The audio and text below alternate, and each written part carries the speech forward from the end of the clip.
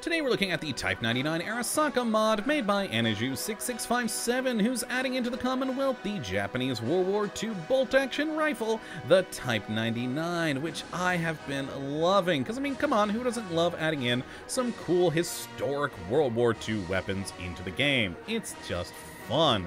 Now, you'll find this weapon as only one exists in the world over at the Nakano residence in the upstairs bedroom, where there's also a magazine for a custom gun skin sitting on the bed. Now, modification-wise, it's got a pretty decent list, nothing too crazy, but enough to keep the gun useful later into the game. And all in all, it is just a fun bolt-action rifle to play with. Slow firing, but I mean, come on, it's a bolt action, but all in all, it's just great. So if you'd like to see a more in-depth review about this gun, you have a look at the link in the video, and have a good one.